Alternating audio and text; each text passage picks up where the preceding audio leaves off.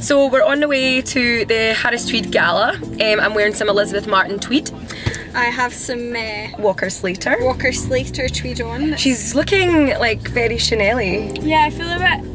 Well, she says Chanel. I feel a bit like a Japanese schoolgirl. So you know. Slash whore.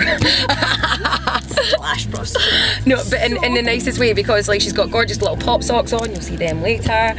And uh, yeah, we're on the way to Harris Tweed uh, Gala tonight. We got ready in record time, like Yep. literally 20 minutes. This has never happened before, like ever. So But yeah, we're really me excited. I just like fix my French. yeah, yeah, we are. We're really excited. It should be really fun. So Something basically- a bit different. Well, exactly. We're basically going to have a little tour around um, like what Harris Tweed have been up to the past year, like all the different collaborations that they've done. Like as you know, they work with absolutely everyone, Everybody. and we're so proud to say that you know they come from Scotland.